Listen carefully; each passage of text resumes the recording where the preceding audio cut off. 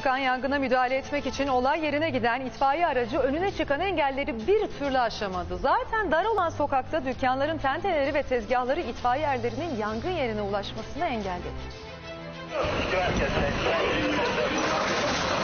Dükkanların tenteleri ve yola taşan tezgahlar itfaiyenin yangın yerine girmesine izin vermedi. Ekipler alevlere müdahale etmeye başlamadan yoldaki engelleri aşmaya çalıştı.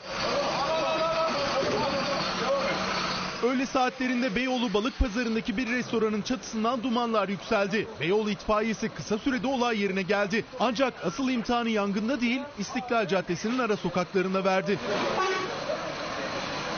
Dükkanların tenteleri ve tezgahlar nedeniyle itfaiye aracı bir türlü sokağa giremedi. Bu itfaiye görevlisi balyozla beton babayı kırmaya başladı.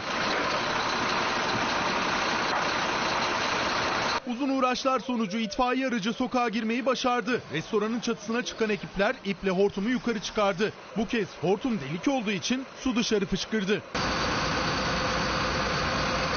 Neyse ki yangın küçük çaplıydı ve daha fazla büyümeden söndürüldü. Ancak yangın daha büyük olsaydı tenteler ve tezgahlar faciaya neden olabilirdi.